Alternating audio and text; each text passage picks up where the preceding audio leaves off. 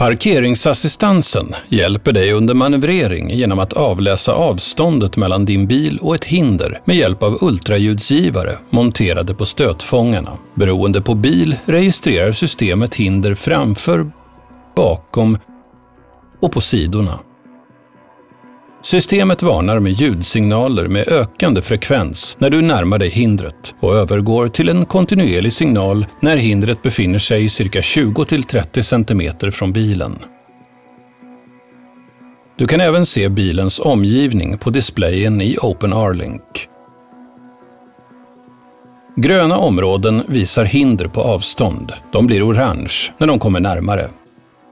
När hindret befinner sig cirka 20-30 cm från bilen hörs en kontinuerlig ljudsignal och markeringsområdet blir rött.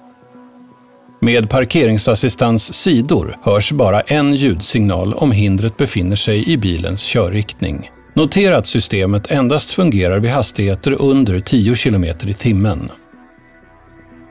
Parkeringsassistans stängs automatiskt av i läge P och N eller när du kör i över 10 km i timmen. Ljudet försvinner automatiskt om bilen och det upptäckta hindret är stilla i några sekunder. Tryck på symbolen för att tillfälligt tysta ljudsignalen. Du kan aktivera eller stänga av funktionen manuellt på displayen i OpenR-Link.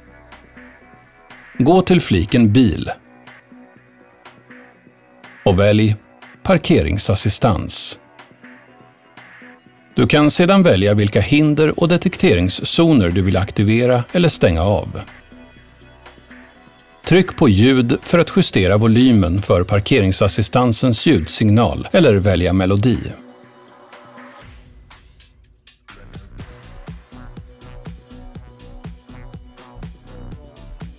För att parkeringsassistansen ska fungera korrekt, se till att ultraljudsgivarna inte är täckta av smuts såsom lera eller snö.